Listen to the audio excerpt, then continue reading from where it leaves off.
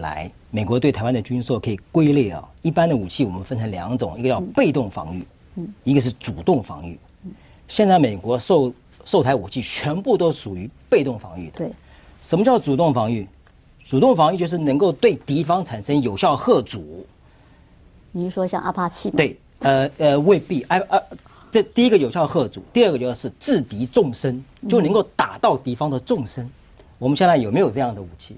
基本没有，我们基本没有。所以我的观察就是说，如果美国要售台武器是涉及到主动防御的，老共一定会叫得更严重，因为那个叫是真的叫啊，现在是政治上的叫。第二个，这次老共为什么会对我们这批军售这么这么这么 care？有一个军售是 Pack Three 爱国者三，不在于他这个爱国者三的这个载台，而是在于爱国者三，美国在日本有，美国在南韩有，美国如果在台湾有，对中国来说，他认为这是一个什么？这是一个反导系统的联联盟，一个连锁。对中国来说，他就认为这就是准协防的关系。准协防的意思是什么？背后就是准军事同盟的关系。嗯哼，老公是看到是这一点，不是看到个别的平台。现在的武器我们很少去讲个别平台了，都是系统的东西。从系统的意义来讲，说这是一个不是一个军事问题，这是一个重大的政治问题。所以为什么北京会叫的那么厉害？它背后有一个这个东西在这个里头。那浅见，浅见是个别平台。嗯啊，所以我说老共我们要观察的。我不认为以后老美会卖一些具有主动防御性能，甚至有攻势的，能够抵敌战略纵深之内的，比如说一千公里之内的这种东西，我觉得几乎不可能。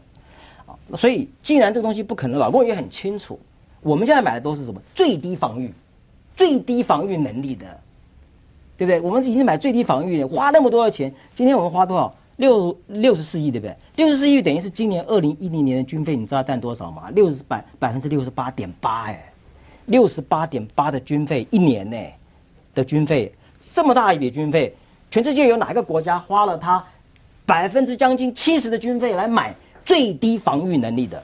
今天如果不是老公在那边叫的话，我们可以买多少好东西？对不对？所以老公自己很清楚，他已经赚了很多很多便宜了，还在那里叫我们只是最低防御能力而已，拜托，对不对？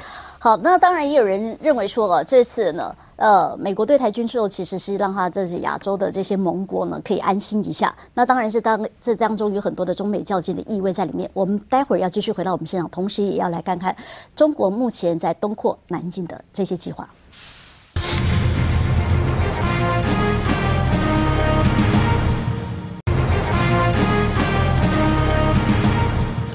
欢迎继续回到有话好说，你所你不知道的中国的单元现场。我们持续要来讨论的，就是说，我们刚才这个呃赖大哥他也提到了，就是说，呃美中关系呢，今年呢，从今年一开始，比如说现在奥巴马他们决定要采取对中国是一个比较强硬的一个态度了哦。从今年的年初以来，那他前几天在对的呃美国民主党的议员，他们也说他会在。对中国的贸易，还有在人民币的汇率这个部分呢，他会采取一个强硬的态度。那其实也提到了二月十七、十八，达赖要去美国，奥巴马就也会接见他。那同样的，在三月、四月、五月、六月、七月，一直到十二月，包括胡锦涛到今年都可能去访问美国。那当然还有一个呃集团体的峰会，那大这些都有一些见面的机会。那在见面的机会呢，会不会有美中的这个领导人又会在这里面较劲？我们可以看到几乎。大概可以看得到，今年对美中来讲，他们应该可以说常常碰面，却也有一些关系紧张的时候。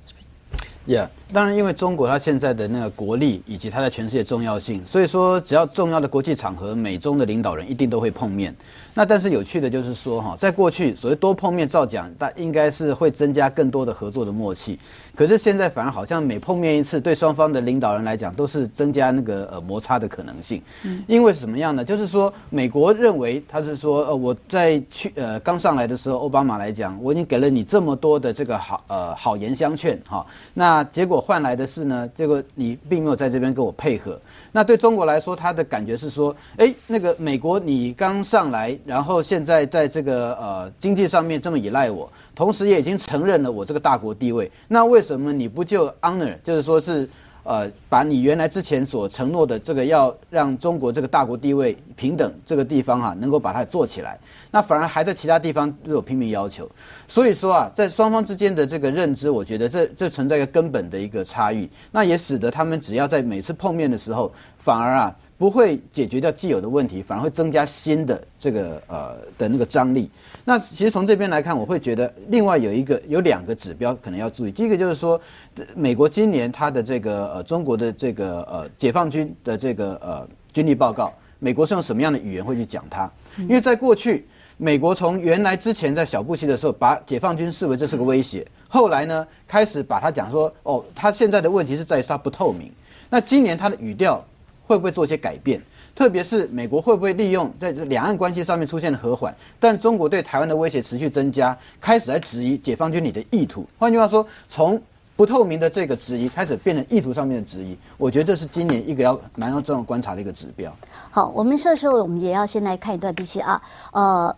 美中的关系呢，不仅是随着呃不同的，不管是商业的、军事的，呃，有所可能会有一些摩擦，也有可能是互相校正。但是呢，我们要来看看，真的是说，呃，中国大国崛起，他们在军力上面呢，是投下了相当多的钱，甚至是是把美国当成他们主要的敌人。一起来看一段 B C 啊。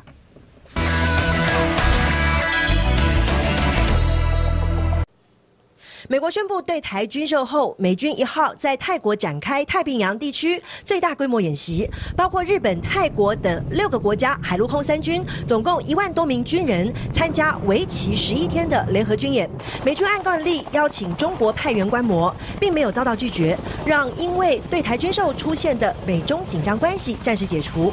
事实上，从奥巴马政府上台后，美中恢复了军事对话，避免双方误判情势。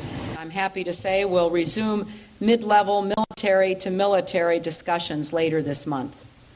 And we look forward to further improved relations across the Taiwan Strait.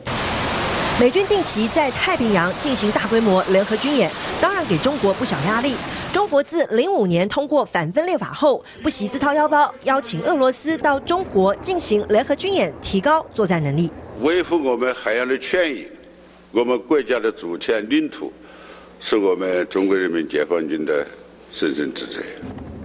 中国的联合军演规模越来越大。去年，中国联合十四个国家在山东沿海举行多国阅兵，但更受到国际注目的是，去年底中共军委副主席梁光烈访问日本，达成了在今年进行历史上第一次的中日海上联合军演，以及中国可能在二零一五年完成打造自己的航空母舰，被美国外交政策期刊列为今年度全球最庞大的武器研制计划。它实际上挑战的是美国的独霸的情况。